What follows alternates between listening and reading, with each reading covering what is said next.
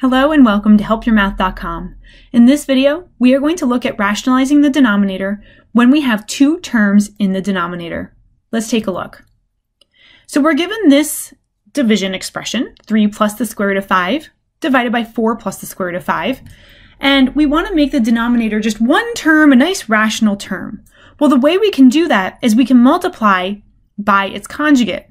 Because if you're familiar with conjugates, what happens is the middle terms will cancel. And in this case, the middle terms will be the, those irrational pieces. So we're going to multiply by the conjugate. That's where we just take the two terms, the 4 and the root 5, and we switch the sign between them. So we get 4 minus root 5. And then whatever I do to the denominator, I have to do the same thing to the numerator. I'm going to simplify the numerator and the denominator separately, and then I'll bring it back together at the end. I'm also going to start with the denominator because if I end up simplifying and I still have a radical, I didn't actually simplify at all and I need to start all over again. I want to make sure I didn't make a mistake here. So we start with the denominator. In the denominator, I have 4 plus radical 5 times 4 minus radical 5, and we can just use FOIL to help us.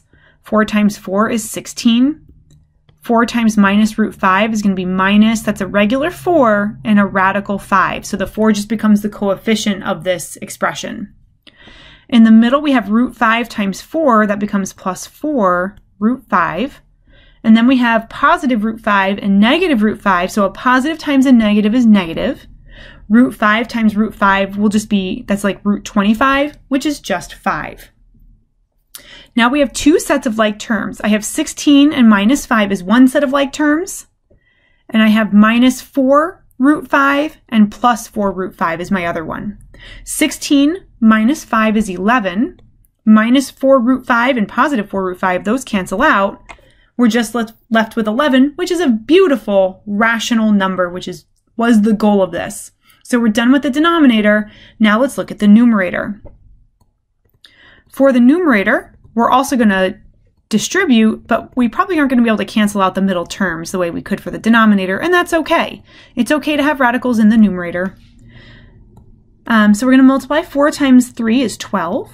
3 times minus root 5 will be minus 3, because 3 is a regular integer.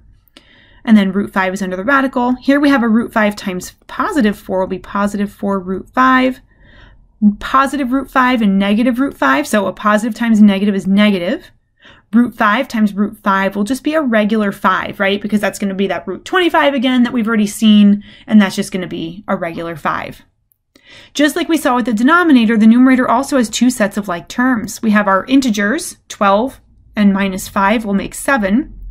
And we have these things with our irrationals, but they're like terms because they both have radical 5 those match so we can combine.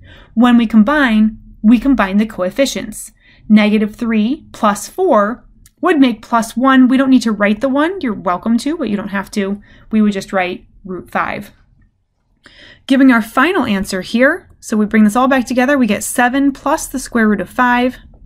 All of this divided by 11 we might want to see, can we simplify something from all three terms? No, no, we can't. It would have to be all three. So even if the 711 had something in common, which they don't, we wouldn't be able to simplify those separately. We would have to do all three.